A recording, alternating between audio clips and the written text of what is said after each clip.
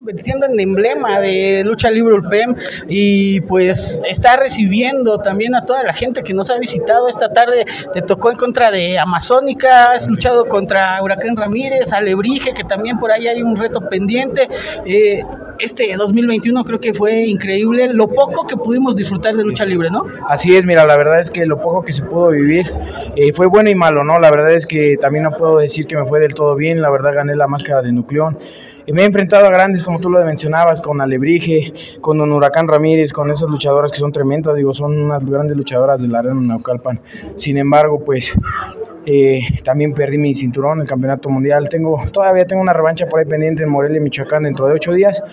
La verdad es que no me siento al 100%, derivado de que pues por otras cuestiones no me he preparado de, de, manera correcta como debe ser para un campeonato, pero sin embargo vamos a echarle ganas, nos queda esta semanita y vamos a darlo todo para recuperarlo. Les agradezco a, a los promotores de Lucha Libre del PEM que pues me dan la oportunidad de recibir esos talentos. ¿Qué podemos esperar ahora de Dogman el siguiente año? Porque ya lo tenemos aquí a la vuelta de la esquina. ¿Qué retos te gustaría tener? Hay muchas, muchas luchas que se pueden venir dando, ¿no? Así es, mira, de primera mano ahorita me encantaría partirles el hocico a esas lagartijas y al bordo ese de Dragón Muerte Traicionero, porque fuimos amigos, fuimos pareja, hicimos grandes cosas y ahora ya se volteó con, con aquello. No tengo problema.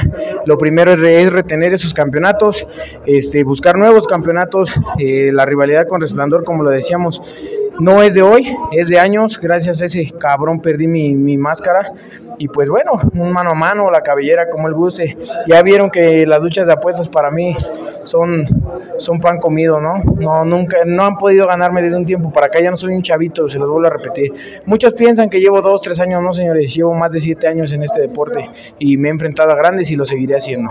Así es, y pues un mensaje para todos tus seguidores y para los seguidores de la página para este fin de año, esta Navidad.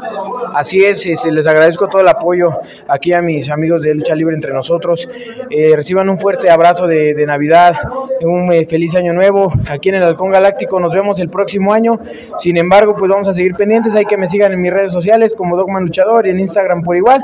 Un abrazo, amigo. Muchísimas gracias por el espacio y gracias por el espacio, mi gente. Ahí está, amigos de Lucha Libre entre nosotros, Dogman. Continuamos.